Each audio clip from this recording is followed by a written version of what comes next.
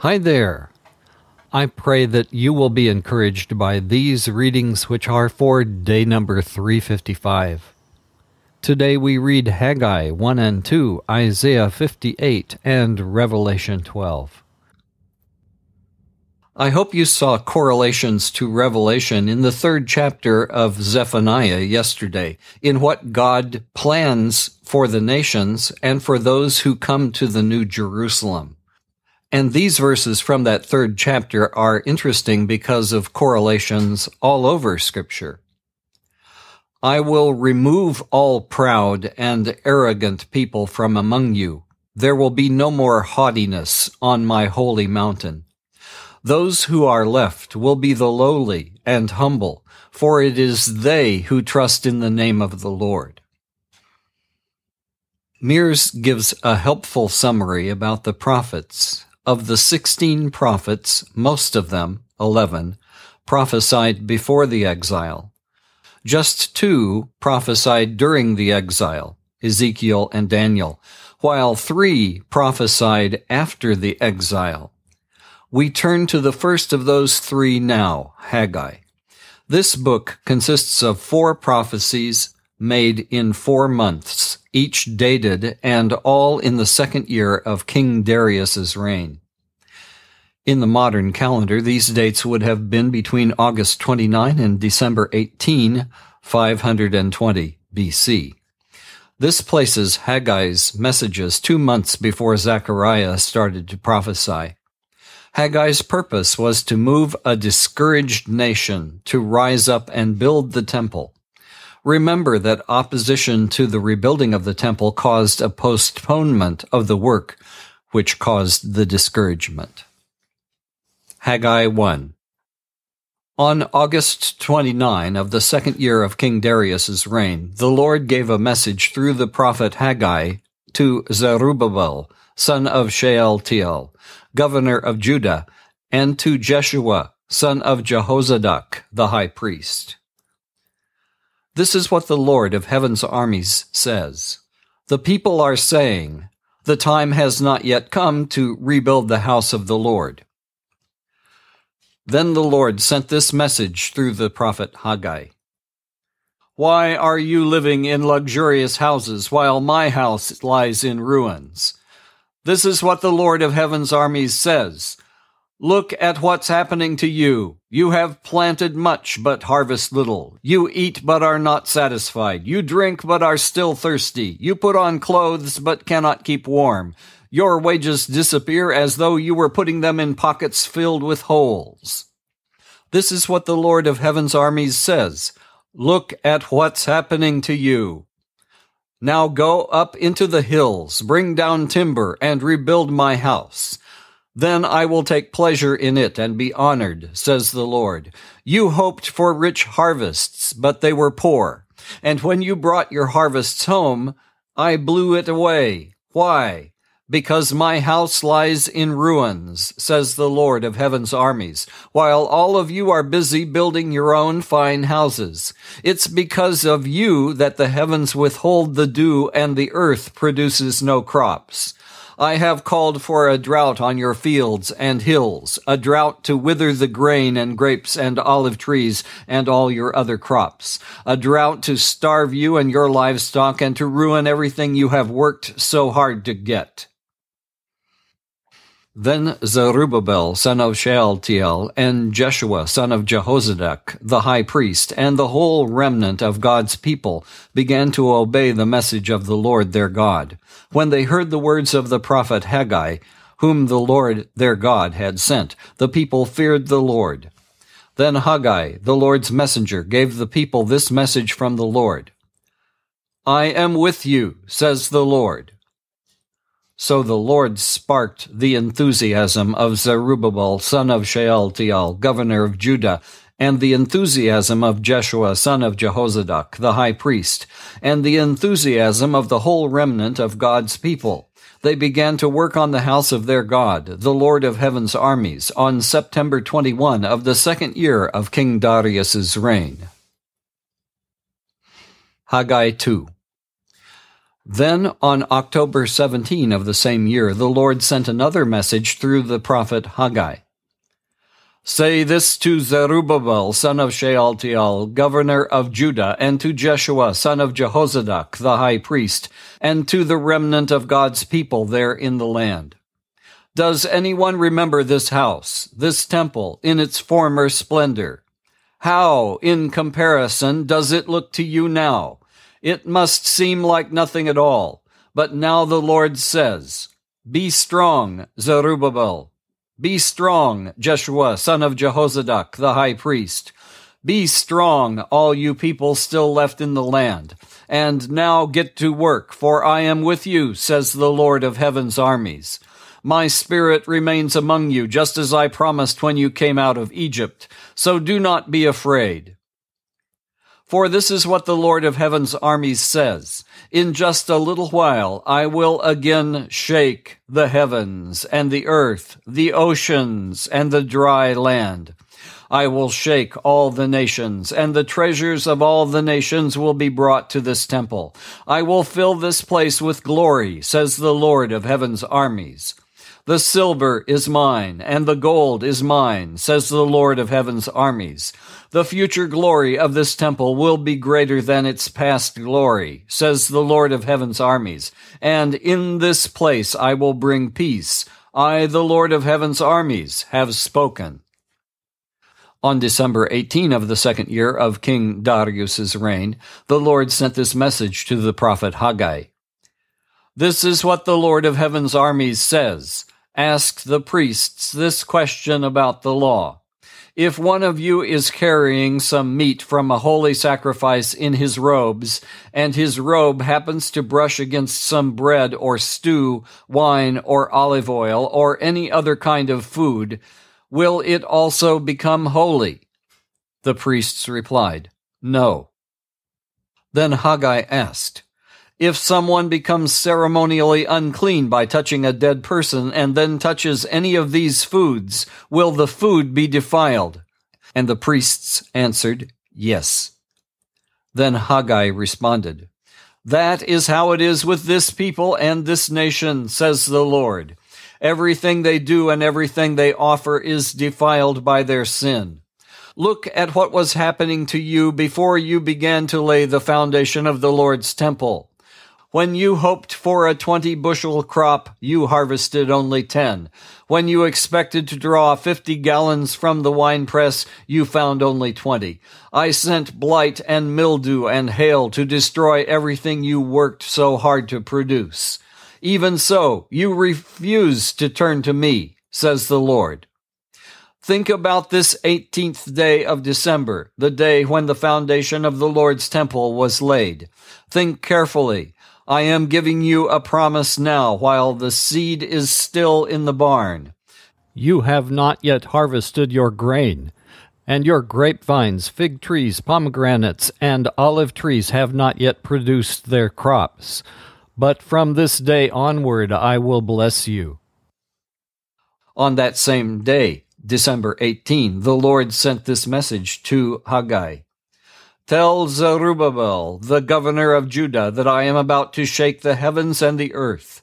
I will overthrow royal thrones and destroy the power of foreign kingdoms. I will overturn their chariots and riders. The horses will fall and their riders will kill each other.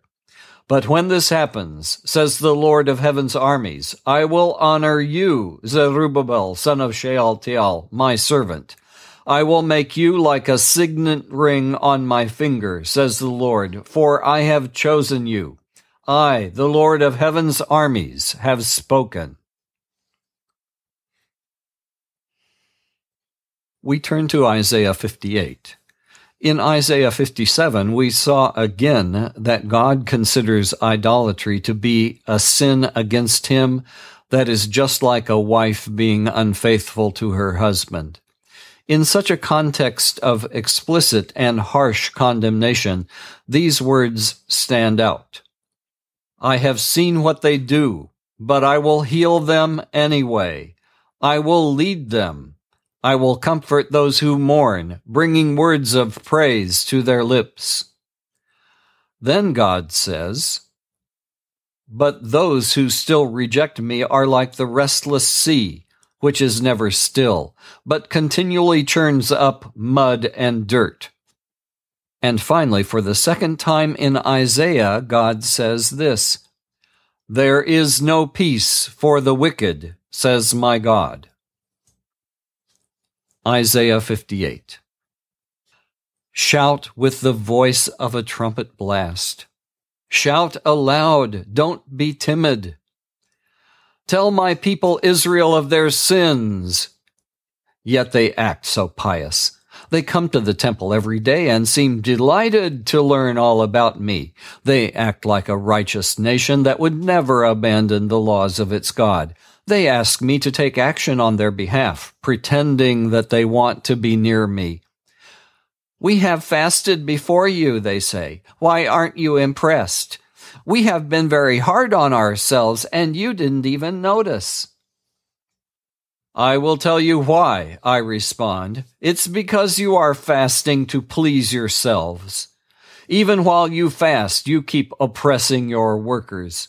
What good is fasting when you keep on fighting and quarreling? This kind of fasting will never get you anywhere with me. You humble yourselves by going through the motions of penance, bowing your heads like reeds bending in the wind. You dress in burlap and cover yourself with ashes. Is this what you call fasting? Do you really think this will please the Lord?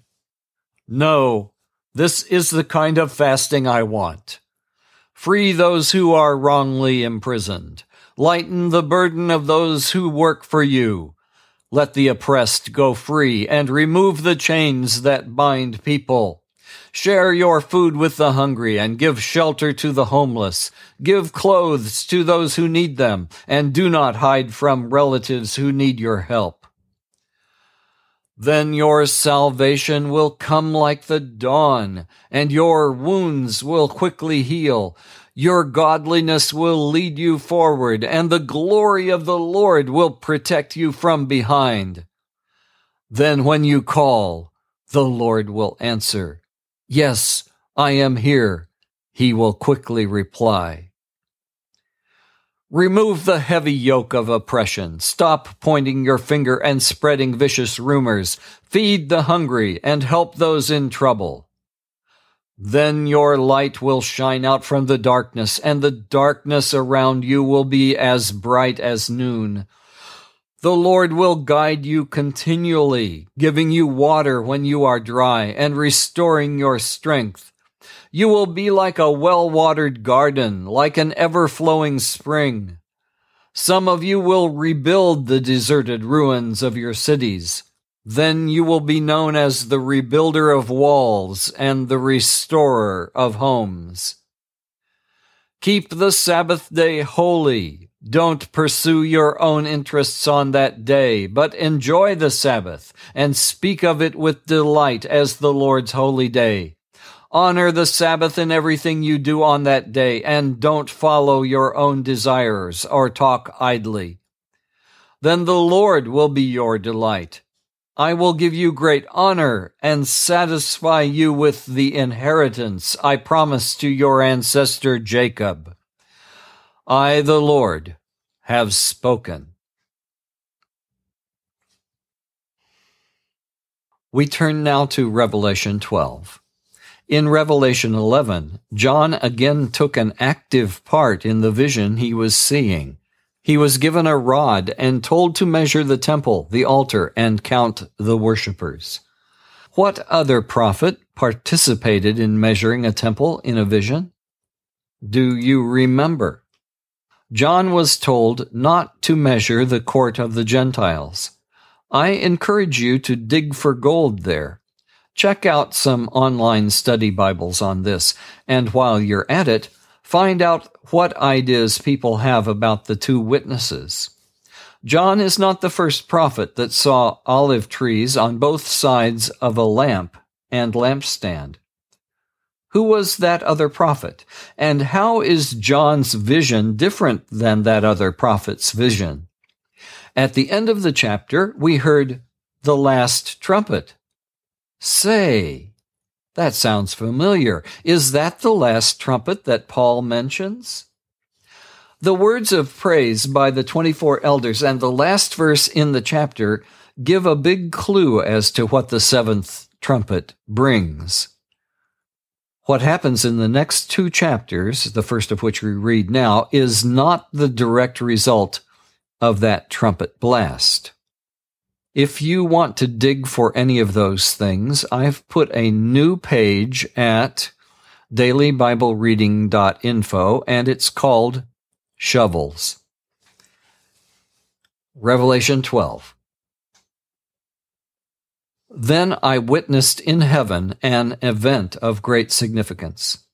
I saw a woman clothed with the sun, with the moon beneath her feet and a crown of twelve stars on her head. She was pregnant and she cried out because of her labor pains and the agony of giving birth. Then I witnessed in heaven another significant event. I saw a large red dragon with seven heads and ten horns, with seven crowns on his heads.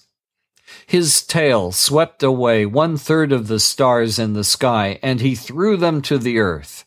He stood in front of the woman as she was about to give birth, ready to devour her baby as soon as it was born.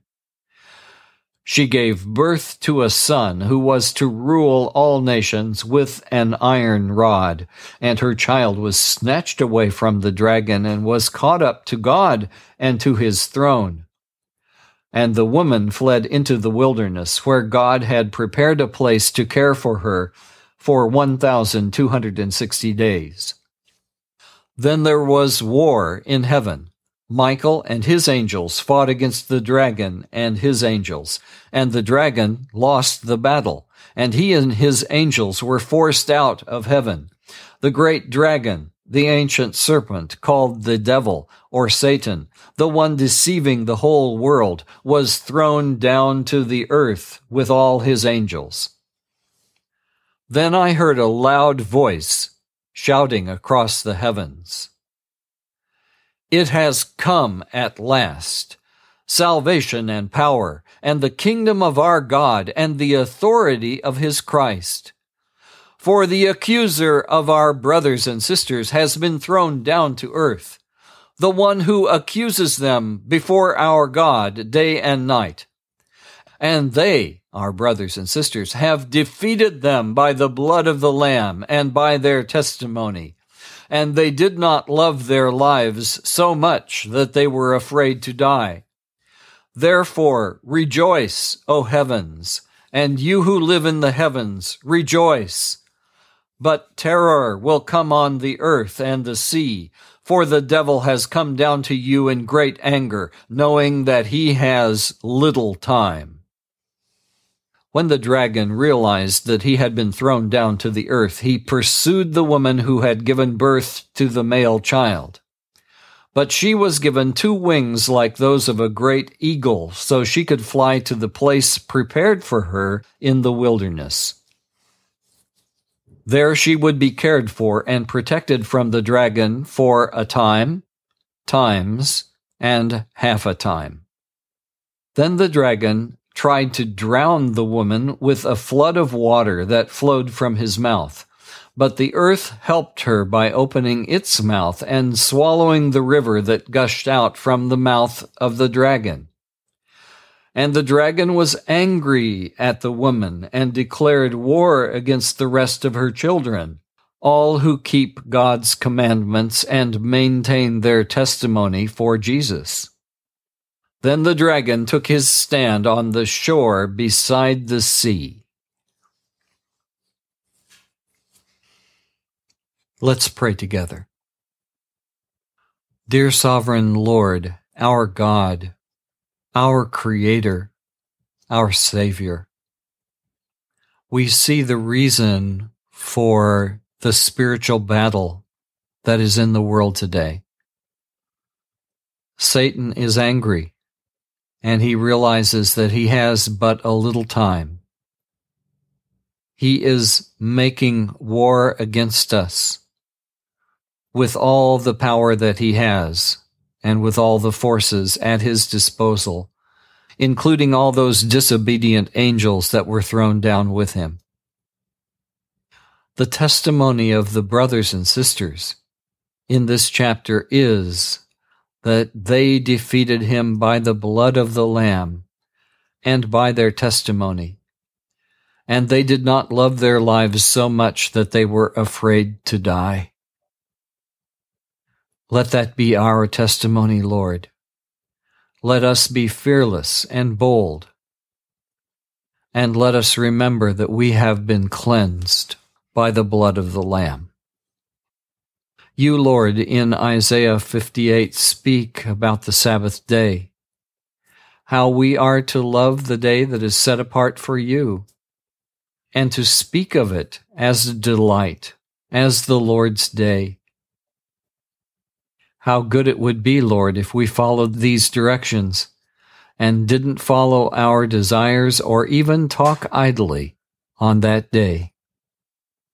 And thank you for the promises that are given to those who have compassion on people who have needs, who help to release the chains of people in bondage, who give shelter to the homeless, who give food to the hungry, who help their relatives in need. You say, Your salvation will come like the dawn, and your wounds will quickly heal. Your godliness will lead you forward, and the glory of the Lord will protect you from behind. Then when you call, the Lord will answer, Yes, I am here. He will quickly reply, Oh, Oh Lord, we would like that. We would like you to be with us today. We would like the glory of the Lord to protect us from behind as we go forward.